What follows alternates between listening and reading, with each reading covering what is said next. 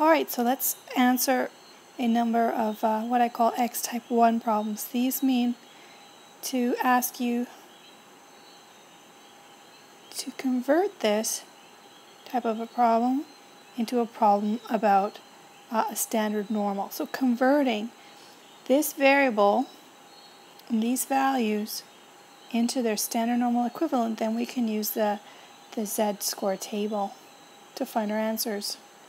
So first we want to find what's the chance, probability, proportion, percentage of observations that lie between 60 and 68, where this variable is normally distributed with a mean of 64 and a standard deviation of 2. Let's convert 60 into its standard deviations from the mean minus the mean divided by the standard deviation and convert 68 into its standard deviations from the mean.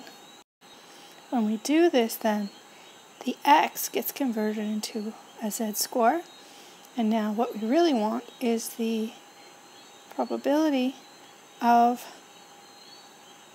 uh, the standard normal being between negative 2 and 2.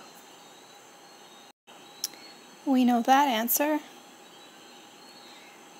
using the standard normal table, smaller than negative 2, has an area of 0.0228, smaller or less than 2 has a uh, area of 0.9772. Taking the larger minus the smaller gives us our answer. The answer is 0.9544 or 95.44%. How about the next problem? What's the chance that this variable, the curve of the x distribution greater than 82 is what we're looking for. So by standardizing, we convert x into z and 82 into, into 9. So what's the chance that a z-score is greater than 9? Well, we already learned what that is. We don't have to look on the chart. We know that that's outside the range of values where we say the chance of being out there is so small, we're going to call it 0. So the answer, zero. How about the next problem? Converting 55 and 65 into the standard normal, um, or the standard deviations from the mean of 64. Remember, we, we continue to use the distribution given.